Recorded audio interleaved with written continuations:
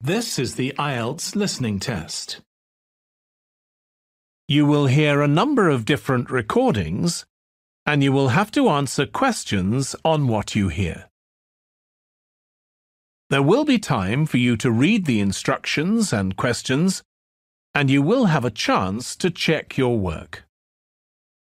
All the recordings will be played once only. The test is in four sections. At the end of the test, you will be given 10 minutes to transfer your answers to an answer sheet. Now turn to section 1.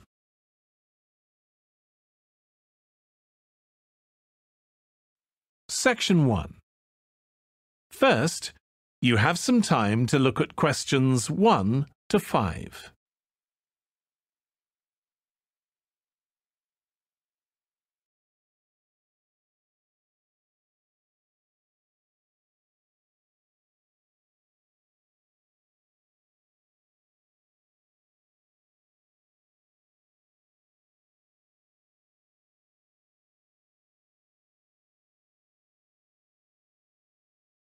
Now we shall begin. You should answer the questions as you listen because you will not hear the recording a second time. Listen carefully and answer questions 1 to 5. Good afternoon, and welcome to my talk on urban migration today. The world has experienced unprecedented urban growth in the recent decades. As much as 3% of Earth's landmass has been urbanized, an increase of at least 50% over previous estimates. Today, people living in cities already outnumber those in rural areas, and the trend does not appear to be reversing. In addition, cities have larger amounts of carbon consumption than rural areas. This is a result from two major aspects. First, with the increase of urban population around the world, the massive construction of urban infrastructure and residential housing is hard to avoid. Second, urban households have a higher rate of car ownership and use more gasoline products. Even though rural exodus is often negatively judged, there are also benefits of migration shared by the local environment and the society as a whole. Well, firstly, global trends of increasing urban migration and population urbanization can provide opportunities for nature conservations, particularly in regions where deforestation is driven by agriculture. As rural dwellers leave their homes, local forests are left to recover. What's more, it is easier for city dwellers to get around. Living in the country means transport can be very difficult. For instance, after midnight, there are no buses or taxis in the countryside. However, there is still a number of public transport modes to choose from in the city. Finally, with more funds and advanced technology, cities endeavor to produce clean energy. New power plants have been built to take harmful methane gas created by the decomposition of rubbish and convert it into electricity. By doing so, an important greenhouse gas is turned into useful energy rather than being directly emitted into the atmosphere. The hustle and bustle of city life offers women the opportunity to explore different professions and pursue their own careers. Women in cities work as engineers, managers, and even football players. This change of roles has affected their marital status and family life. More women are choosing their careers over marriage, which raises the graph of late marriages. As a result, more are remaining single well into their late 30s. They want to be independent and earn money on their own. It is also easier for them to get a promotion while working in the city. Women are slowly achieving wider participation at work while in rural areas the mindset is still very conservative. Before you hear the rest of the conversation, You have some time to look at questions 6 to 10.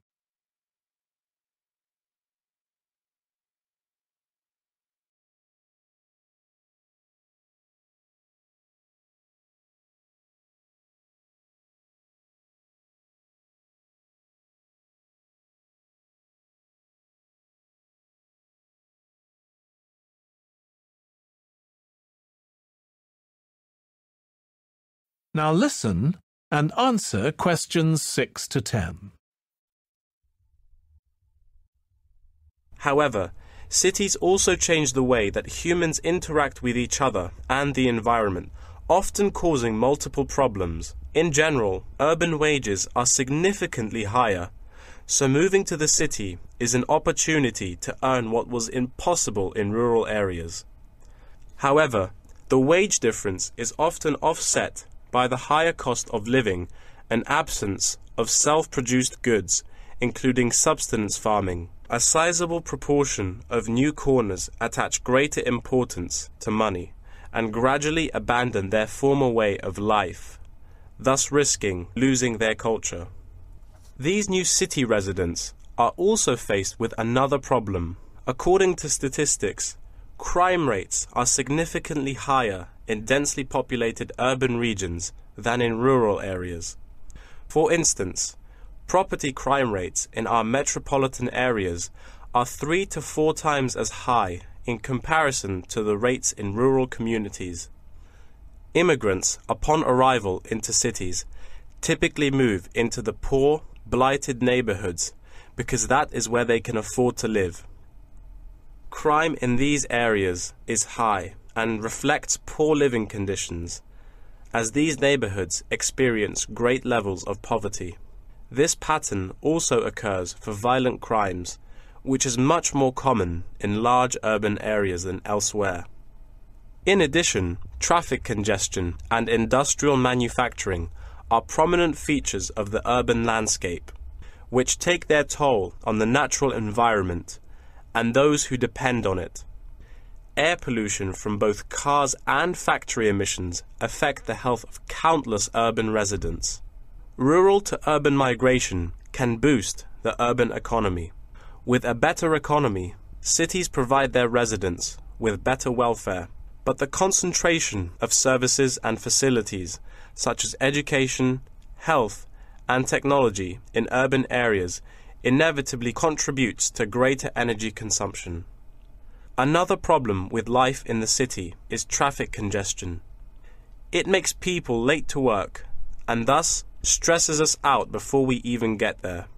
Deliveries can't arrive on time, gas costs money. The quality of life of those commuters starts to decline. What's worse is that if congestion makes it harder to match the right workers to the best jobs, it is economically inefficient as well. That is the end of section 1. You now have half a minute to check your answers.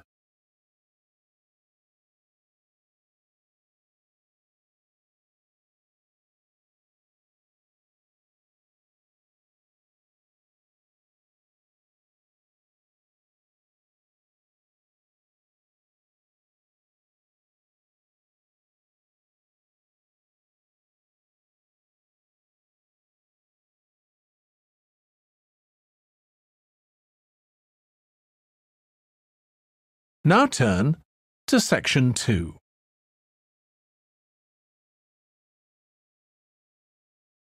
Section 2 First, you have some time to look at questions 11 to 15.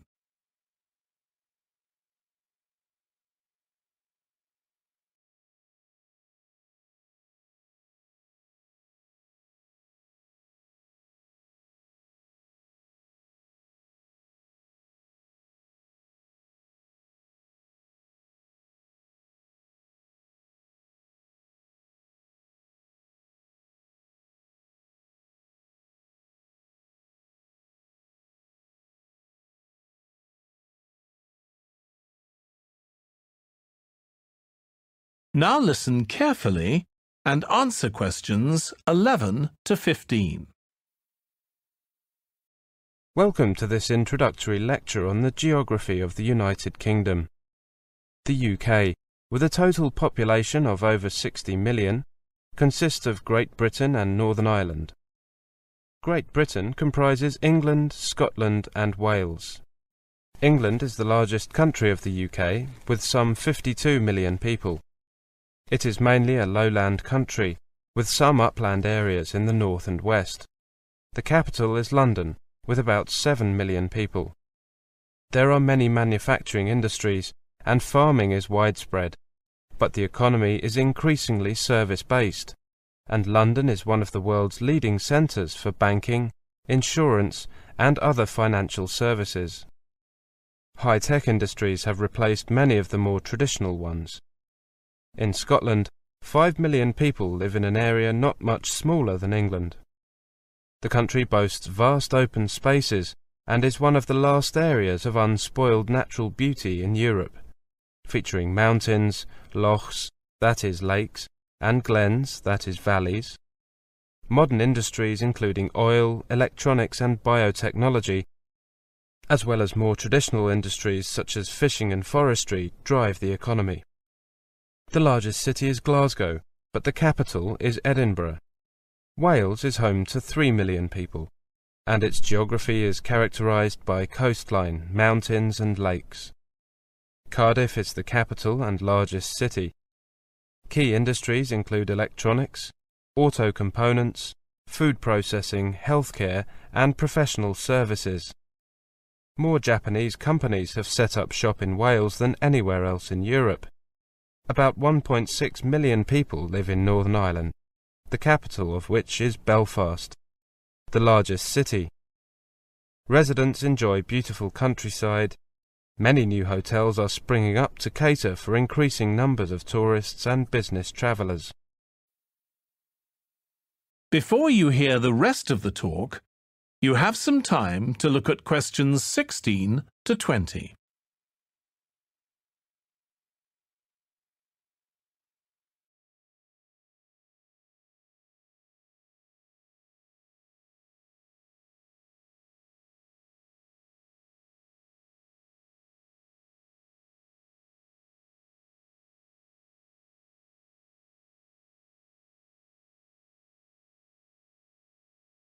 Now listen and answer questions 16 to 20. The climate in the UK is moderate. Summers are fairly cool and winters are quite mild. And despite what many foreigners believe, British weather is not rain and fog. It is actually more comfortable, more varied and more interesting than that. What you can look forward to in the way of rain, sun, temperature, and even daylight depends on where you will be living. Here are some typical figures for London. January is the coldest month at 3 degrees centigrade, whilst July is the hottest at 17 degrees centigrade. Rainfall varies from 56 millimetres in April to 81 millimetres in December. Although the UK is quite small geographically, the climate varies from one area to another. In general, the west is wetter and milder than the east, and northern areas are noticeably cooler than southern ones. For example, compare the following temperatures with the London figures. Edinburgh 14 degrees centigrade in July and Manchester 15 degrees centigrade in the same month. Edinburgh 4 degrees centigrade in January and Manchester 5 degrees centigrade in the same month. Parts of Scotland usually get snow in winter, whereas you might live in London for several years without seeing a significant snowfall. International students who are used to tropical or equatorial climates are often intrigued by the sheer variety of the weather in the UK. Weather in the early spring tends to be especially changeable. You could be treated to rain, snow, thunder and lightning, hail and glorious spring sunshine, all in the course of a single day. That is the end of section 2. You now have half a minute to check your answers.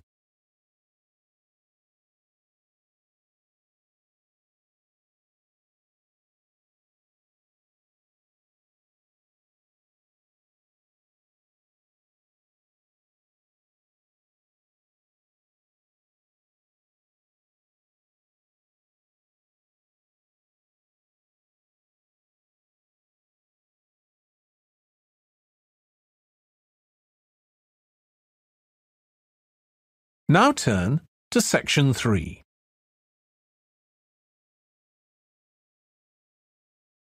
Section 3. First, you have some time to look at questions 21 to 25.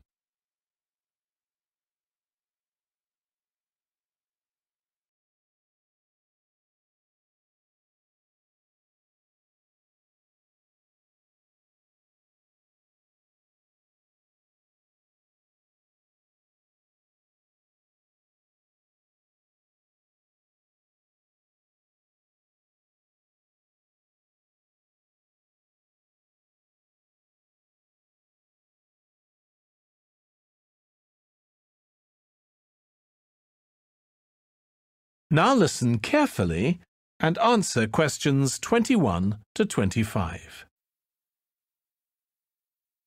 Right, Anna. I believe it's your turn to provide the research for the seminar today. You've been researching how marketing technology is changing how marketers use social media. Is that correct? That's right, yes. And what have you found out about how technology is being used in marketing? Well, with the first wave of this technology, marketers wanted to see how they were performing, how to trend on social media, and then make decisions based on that. Right. And has that changed? Yes. Now it's much more complex. Marketers are managing multiple brands. There are many social networks to manage, and there is a lot of content to generate each day. The work marketers have to do on social media is huge. The technology is becoming more about using the data that really matters to play around with audiences, optimize content, see how people engage, and of course, optimize spending. When marketers have access to powerful data from social networks, in what smart, creative ways are they using that data to optimize in the areas you just mentioned? When you have data about an audience that engages with a brand, smart marketers want to know more about who those people are. For example, are there different personalities that prefer different product lines? They also want to know how personalities evolve over time to help them make decisions. Right. Before you hear the rest of the discussion, you have some time to look at questions 26 to 30.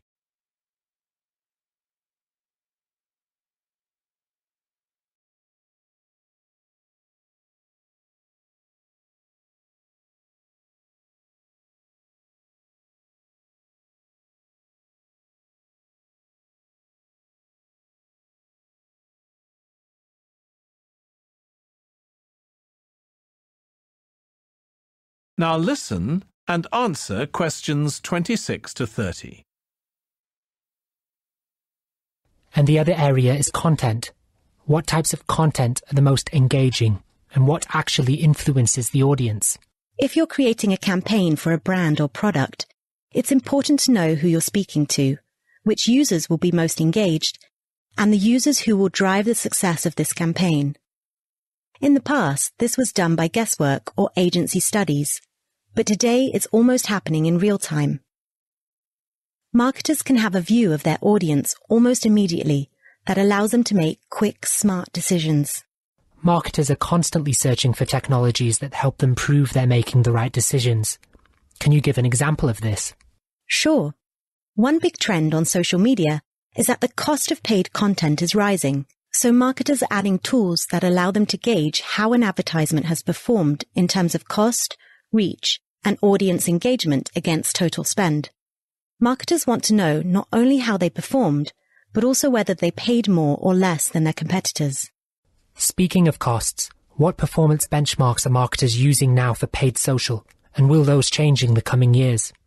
Marketers' first big focus at the moment is engagement. They see how content performs and what is gaining popularity. They also want to know whether their audience is going to their competitors or whether new brands are starting to win new customers. Great. Thanks for that, Anna. Now, let's move on. That is the end of section 3. You now have half a minute to check your answers.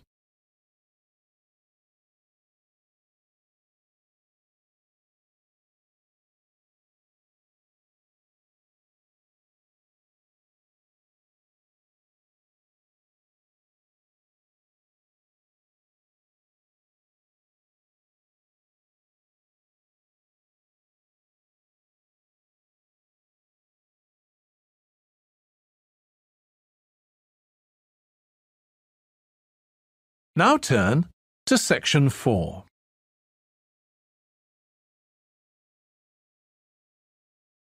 Section 4. First, you have some time to look at questions 31 to 40.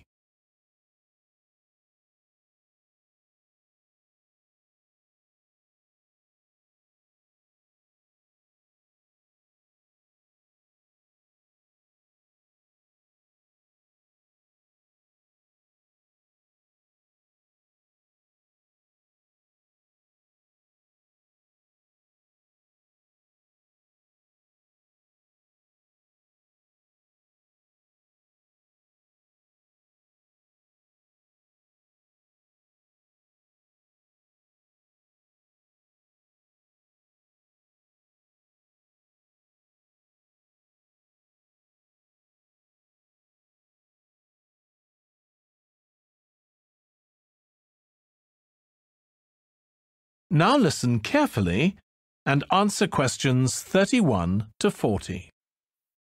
Tonight I'm going to present an overview of the research on amber.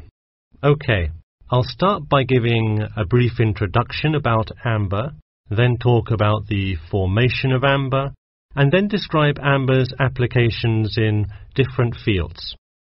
First of all, what is amber?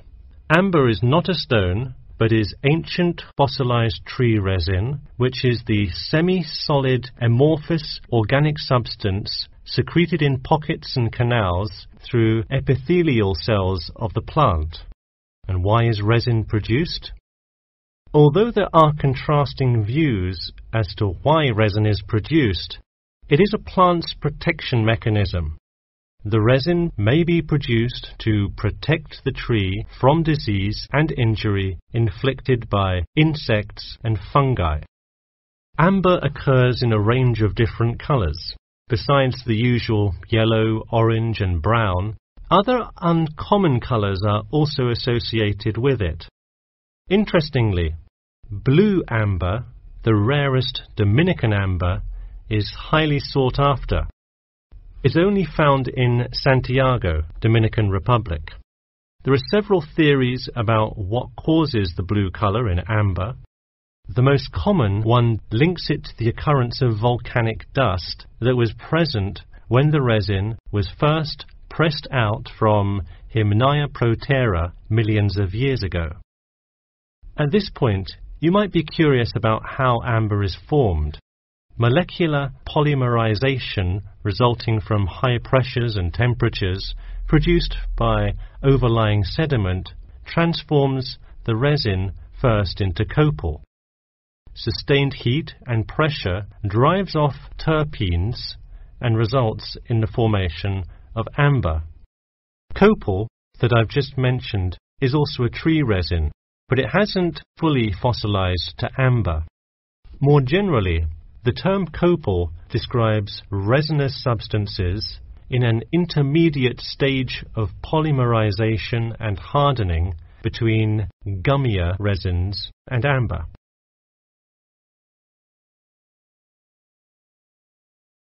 So where can we find amber? It can be found on seashores. The main producer worldwide is Russia. In fact, about 90% of the world's available amber is located in the Kaliningrad region of Russia, which is located on the Baltic. Here, the resin is washed up on the coast after being dislodged from the ocean floor by years of water and ocean currents. However, exposure to sunlight, rain, and temperate extremes tends to disintegrate resin. This also indicates that amber is not really an ideal fossil preservative for most uses. We've already learned that amber is made of tree resin. It often includes insects that were trapped within the tree many millions of years ago. A piece with a visible and well-arranged insect is generally valued much higher than simple, solid amber.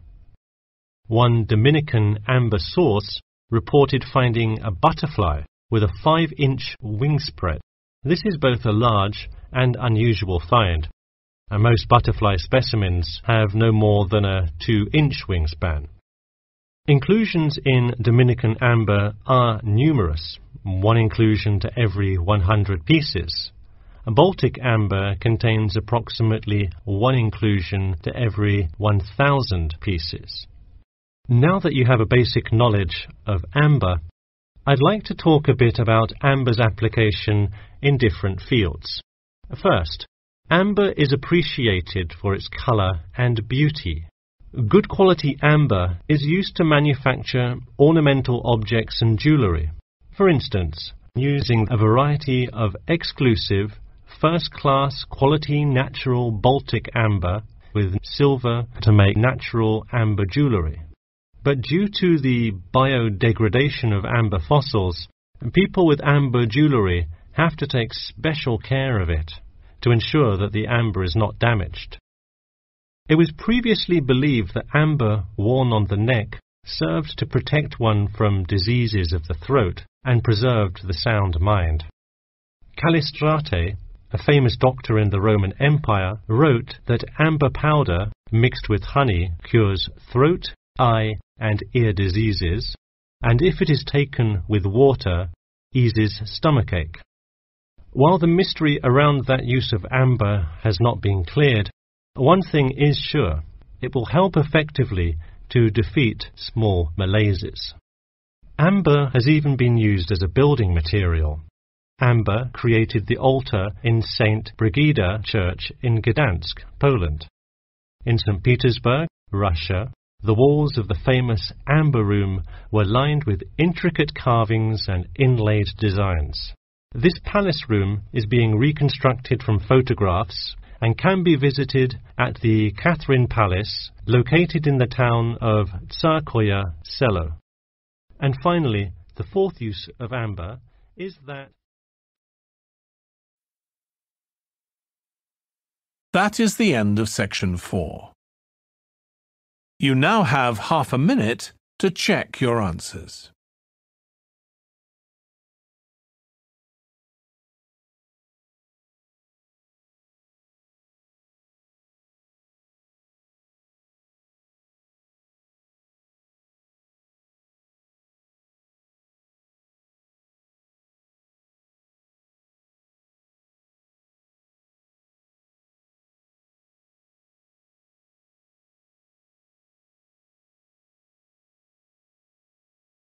That is the end of the listening test. In the IELTS test, you would now have 10 minutes to transfer your answers to the answer sheet.